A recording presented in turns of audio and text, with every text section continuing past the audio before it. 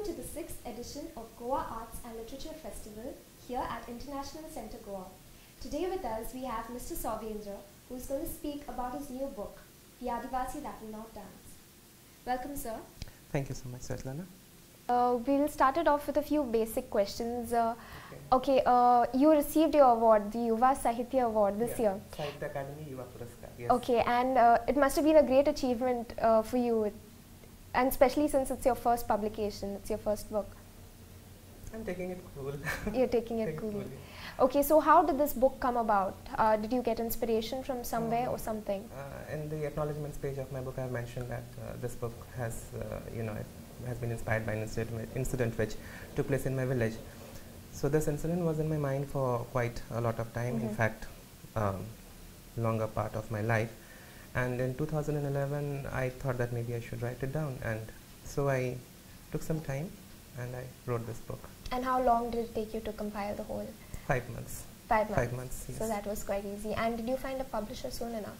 Um, I was lucky, I think, in that way because uh, in 2011 I completed my book, Mhm. and during 11 end 2011 and beginning of 2012 I did the editing Okay. and uh, you know correction of draft. And uh, from March 2012 I started submitting to publishers and agents. okay. And in May I received this acceptance from Aleph Book Company that they would publish my book. Okay, that's really nice. And uh, so, how did you actually come about in, into the field of writing, especially since you told me that your original background is from the field of medicine? Yes, um, I was in school when my first story was published. I was 15 years old, Okay. standard 10 I was in, and it was a short story which was published in the Asian Age newspaper. There were, they used to have a column in it, actually an entire page called the School Age, where they used to accept contributions from school students. So I sent in my short, short story then, it was published, and I was very happy. But I never really thought that I would actually write. I used to, you know, as a child, uh, when I was 7, 8, 9 years old, I used to draw pictures on those full-scape white sheets, rewrite fairy tales on my own, Cinderella and Little Red Riding Hood and all. And uh, I used to make my own pictures and I staple the pages together. I used to draw the barcodes on the what was- supposed to be the back cover of the book, and that was how I, you know, prepared my first books. But I never really consciously thought about writing. After school, of course, my writing took a back seat for a while. But in 2002, I began writing stories again, Mhm. and that is how So that was when continues. Yes, continued. Okay, and uh, so did you actually have any inspiration to get into the field, especially since you were completely devoted to another profession? Mm, uh, uh, writers never inspired me, their works inspired me. I cannot name any particular person. Uh, books, yes, they inspired me. Like I told you about this book, The Color Purple by Alice Walker.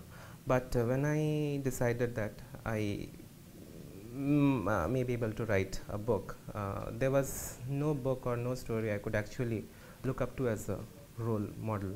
So I was completely on my own. I experimented with Okay. my language and And style. did you find it difficult being uh, being brought up and even uh, currently staying in the state of Jharkhand No, to no, find no. opportunities? No, no, no. Had I not stayed in the state of Jharkhand, perhaps my books would have never been born. Yeah. Okay, and so in both your books, the uh, ailment of uh, Rupi Baskey Yes, and mysterious of the Rupi mysterious ailment of Rupi Baskey, Yes. and even the current book, you focus especially on the Santal community. Um, yes, Uh, yes. So is there a special uh, special reason for it, or Mm, the only reason is because I belong to this community. See, when I wrote the mysterious element of Rupi Baskey, it was supposed to be a, you know, a, a, a, a simple story of a simple family in a village, a Santal village. Um, while I was working with my publisher, my editor, I was, uh, you know, putting final touches to the book. We brought in elements from the history of Jharkhand to it uh, in the background. But ultimately, it's not about, you know, it's uh, it's not really about uh, the community. It is more about a family the family? uh, the family, the woman, uh, Rupi Baskey, who has this mysterious ailment and how she fights it. Okay, so there was absolutely no intention to bring in any politics or any uh, kind of a representation of a particular community. Mhm. So I never think that I'm going to write for this community. I'm, I'm writing because that is the only thing I know. Okay, so that was the story of the first book. With my uh, second story, uh, so sorry, my second book, The Adivasi Will Not Dance, it, uh, uh, yes, it uh, contains stories which I, uh, I wrote way back in 2002 and 2005 and all. Uh, and which have been published in a compilation now. Uh, but uh, the stories here, they have also been influenced by my job, the place where I'm staying. So you can see that I have matured a bit with the Adivasi will not dance. But ultimately, I don't wish to actually represent someone or be a voice or something. I just want to tell those stories. That's it. And so, being a young writer yourself, Mm, mm. and uh, we can see the change in the youth these days. Hmm. They are deviating from the path of actually reading, and Hmm. they are interested in other fields, maybe Hmm. visuals or Hmm. audio. What do you have to say about this changing scene, especially in the country? Mm, I do not, I disagree with the use of the word deviation because I really do not believe in telling a person what he or she She should do. should do, what, an, what a person should do. A person should follow his own uh, ambitions, his own dreams. Okay, because uh, you see, a person follows, um, like you said, that mm, uh, the young people are not reading, they are moving towards uh, what you said, uh, is it uh, visual Uh, arts and visuals Yes, audio. visuals and an audio. So maybe uh, they have been convinced that visual and audio are more effective, more powerful. That is why they have taken over that Mhm. person. Maybe reading is uh, or writing is not that powerful. So there should be something reading and writing that should actually convince that person that look, reading and writing is good. So So you're a- saying that it's not the people, but the work that does not exist to attract them towards it. Mm, yeah, the work. I- mean, a person Quality should work. a person should have a reason that why I should pick up reading and writing. Wh- Why not visuals and audio? Mhm. Okay, so the person should be free to choose. Okay, and so uh, since this is your first year at uh, Hmm. Goa Art and Literature Festival, Hmm. do you have any expectations in mind? What do you look I do not have any expectations in mind. I have come absolutely khali heart to have fun at the festival.